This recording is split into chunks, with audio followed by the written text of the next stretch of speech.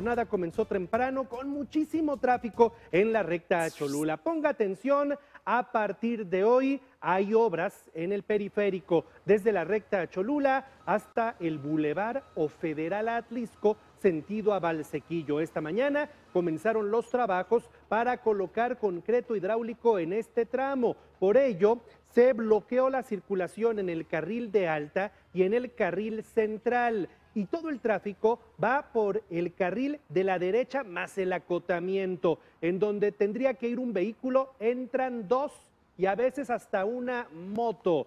Es la primera parte de estos trabajos, de estas obras, que tendrán que concluir antes de mediados de diciembre de este año. Vea usted el tráfico con las imágenes que captamos esta mañana, justo cuando comenzaban los cierres. Se lo advierto, corra la voz para que uno vaya planificando rutas alternas o échele 30 minutos más a su recorrido.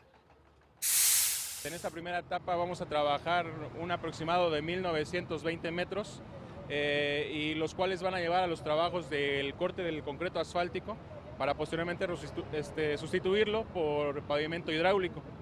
Todo esto nos va a llevar más o menos un tiempo en esta primera etapa de unos tres meses en los cuales eh, como inicio vamos a estar dejando habilitado un carril para el tránsito vehicular y posteriormente más o menos dentro de unos 15 días vamos a estar ya cerrando en su totalidad el cuerpo del periférico. La obra total de repavimentación con concreto del periférico va desde la vía Atliscayotl hasta el Boulevard Forjadores de Puebla. En este momento se trabaja en el tramo que ve en pantalla, es el primer tramo en el que se está trabajando.